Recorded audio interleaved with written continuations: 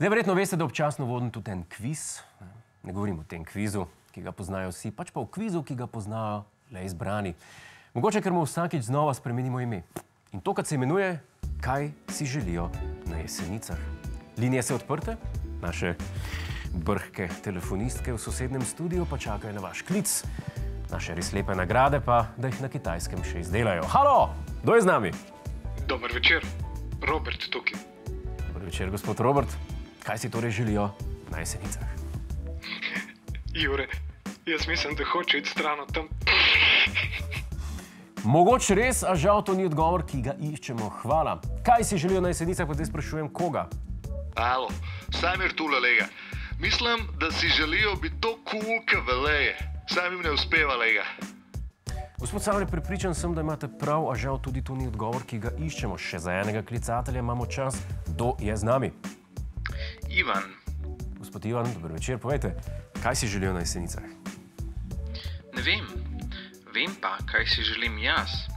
Veste, jaz sem zaveden slovenec, ki mi večkrat pokrivamo obtožijo za nacionalista. In to samo zato, ker povem resnico. Da me motijo vsi ti prokleti. Ne, ne, ne, ne, eh, hvala lepa. Če- H- Hvala, hvala lepa. Gospod Ivan, poklicali ste vodajo ta teden, ne v uro moči. Dajmo se raj pogledati, kaj je pravilno odgovor. Ali bomo v Sloveniji kmalo dobili že 12. mestno občino, drugo na Gorenskem? Zato si prizadevajo na jeseniški občini. Svojim občanom namreč želijo ponuditi še nekaj več, saj bi lahko o razvoju svojega kraja odločali sami, brez odobritve države. Ja, na jesenicah si želijo postati mestna občina. Veš kaj, Godler? Ne oni najprej postanejo slovenska občina. a prav? O, gospod Ivan, dovolj, režija, kat. In kaj si o predlogu mislijo tamkajšnji prebivalci? Opozarjam vas, da lahko stopnja lokalno-političnega aktivizma v naslednjem posnetku šokira. Bi jesenice morale postati mestna občina? Zakaj pa ne bi? A? Se je, a ne?